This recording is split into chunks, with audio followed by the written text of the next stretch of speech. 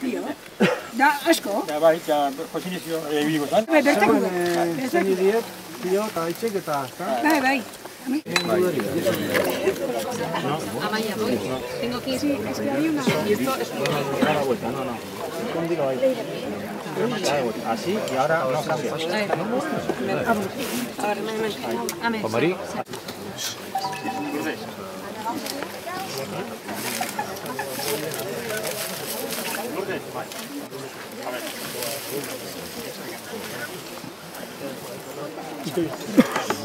Bueno, egun on guztioi. Hemen daukagun obian, lau eskeleto daude. Lau personaren eskeletoak, bi hemen daude, bez, eh, alde hontan, eta beste bi buru hor dozkazue. Bia daude, jarrita, bina, alde batetik eta bestetik, eta erdi aldea daukate oinak. Lauak gora begira daude, buruz, bera, buruz gora, eta kasu honetan oso garbi ikusten dira, danok oso ondo jarrita daude. Kasu honetan, e, buru ezurra lekuz aldatuta dago, baina gerostik aldatu egin delako. Ezurrak ez daude oso egoera honian, baina bueno, igertzen da oso ondo nundin ora, e burua eta oina nun dauden. Bueno, lau persona, laurak oso gaztea dira, gure dokumentuetan ikusten zan bezala lauak gazteak izan behar zuten, eta betetzen da, ba, emeretzi, hogeita bost urte bi, bitartekoak izango dira zure.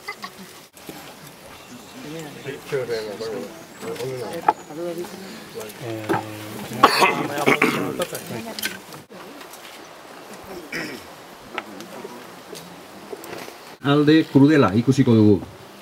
Gaur ia irurogeta masei urte eta gero, gure herriaren alde bizia eman eta gero, erabat ahaztuak izan diren gudari gazte batzuen gorpuak aurkitu ditugula adiraztera gatoz. Gaur eurak dira, benetan protagonistak. Lurpean ahaztuak geratu ziren eusko gudariak. Agur eta ore. Azteko bertsolaria, zierra. Berta bertakoa.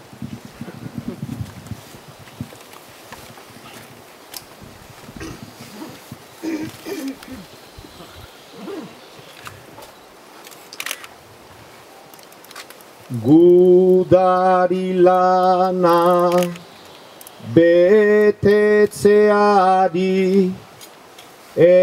etzioten egin uko. Nahi zeriotza bilatu zuten kontuan jauzi orduko hainbat urtetan nun egon diren guztiok gera lekuko aberriaren alde egina guk ez dugu aztuko aberriaren alde egina guk ez dugu aztuko.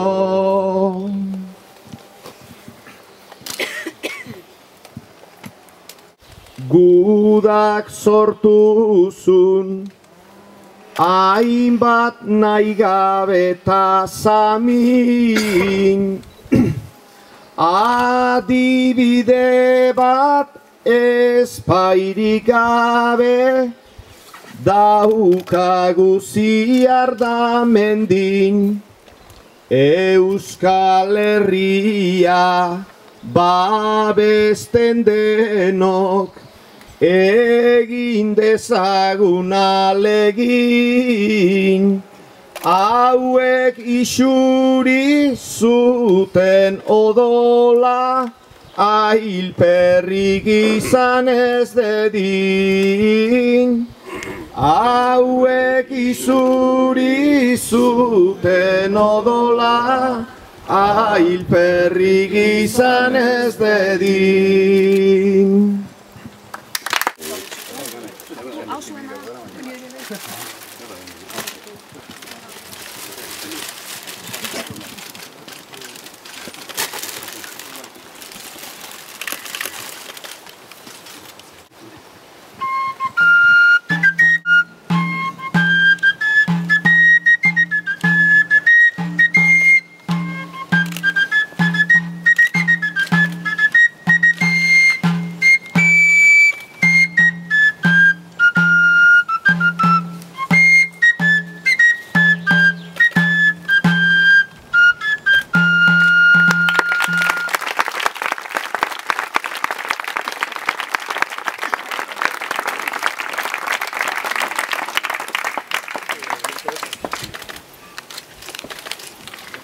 Ba,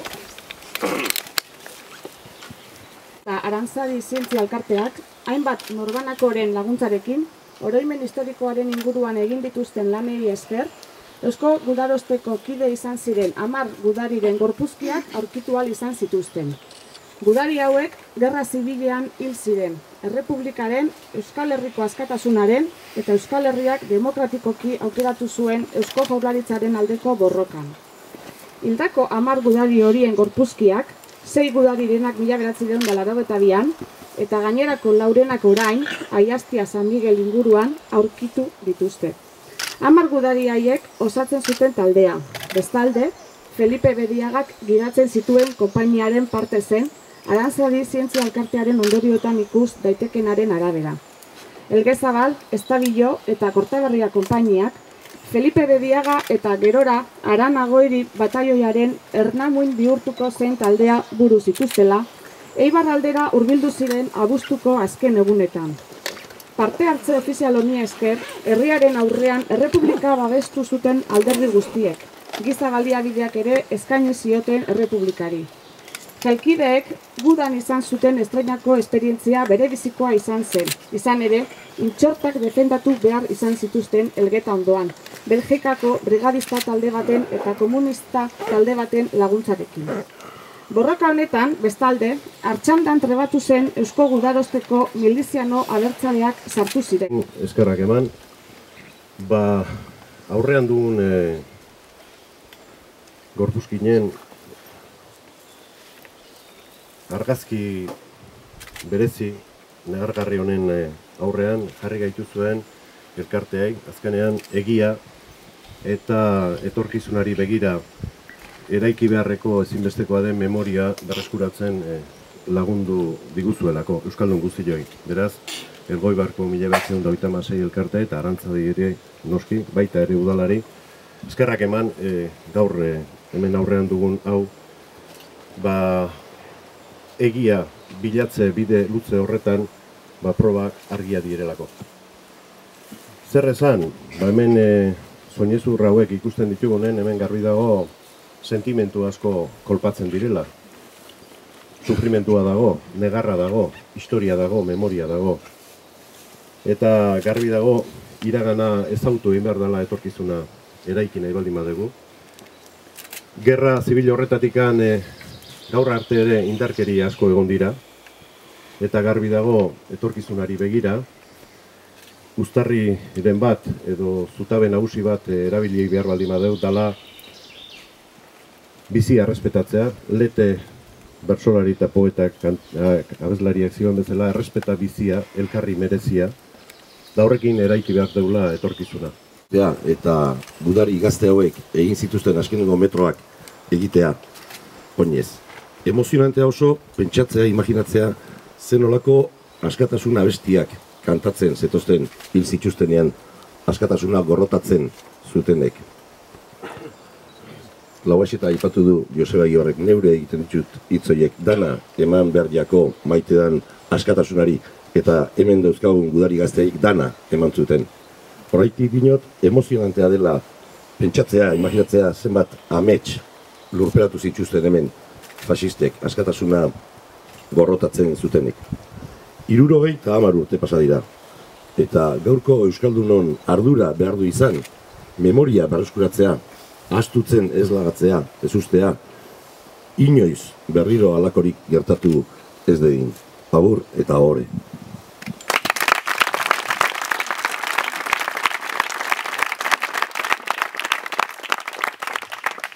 Guk elgoi martik Feliz Etxeberria baita ere, aipatu behar dugu, eh? beragatik ez balitz izan, hauek eh, ezin izango nintuzke atera eta bera, bera izan da pixkat bultzatu behituena azken urteetan baita ere.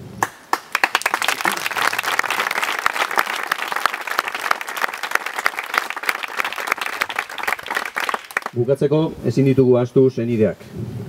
Eurek izan dira oroitzapena, isilean euren sukaldeetan gordera izan dutenak zenidia galdu ondoren, asko ez dakite zer gertatu den, falangista edo reketeak eraman zituztela, frontean tirokatu zituztela, bide ertzetan bota zituztela, oraindik asko desagertua daude. Eta urte askotan, zapaltzaileen imperioan ezin izan dute txitik esan. Eta zapaltzaileak kaletan arro-arro ikusi izan dituzte ezintasunez. eta eurak errudun bailiran ikusi izan dute euren burua, askotan. Galtzaileak izan dira zenideak birritan, zentzu guztietan. Hemen daukagu zenide horietako bat, gaur pozik dago bere osaba inbeste urteta gero eurengana itzuli diegulako. Joseba,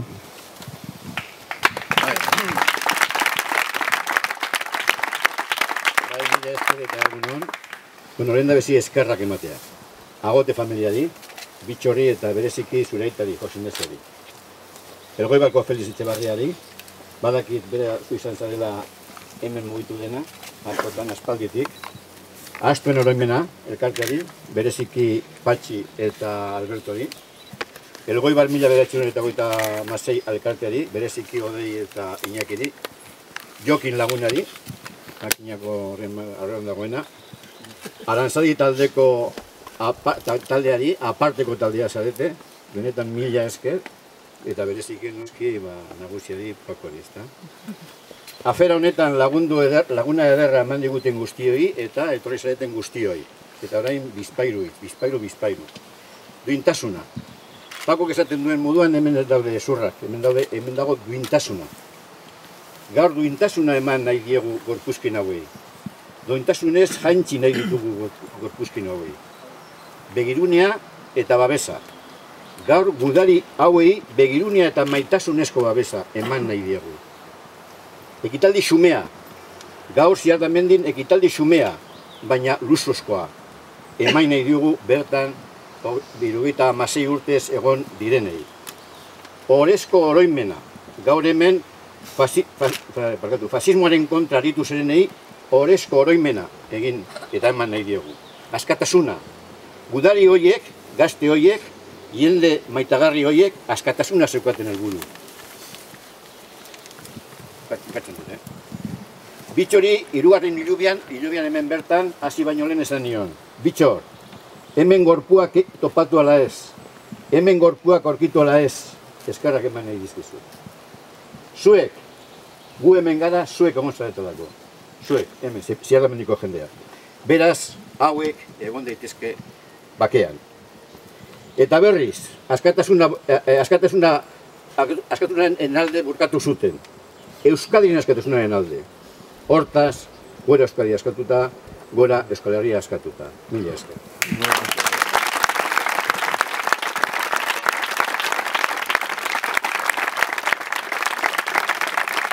Euskal Gudariak garai guztietakoak guretzat eredu izan dira eta Turi daukago dola bere alde zemateko Euso gudaria gera Euskadi askatzeko Gerturi daukago dola bere alde zemateko. Irrintzi bat entzun da Egiko torrean Guazen gudari danok ikurriñan atzean. Irrintzi bat entzuna, mediko torrean Guazen gudari danok ikurriñan atzean. Gora Euskadi askatuta!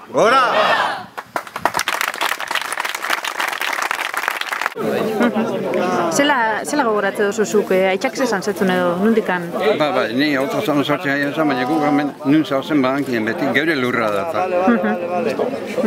Eta gaurko eguna zela bizi izan duzu? ikeragarri. Baina merezi zuten. Merezi zuten. Ze honek etorri zirenean, Ez zeukaten rantxorik, ez zeukaten ardi bat eroloa, arropatzen zuten nahi lipinita.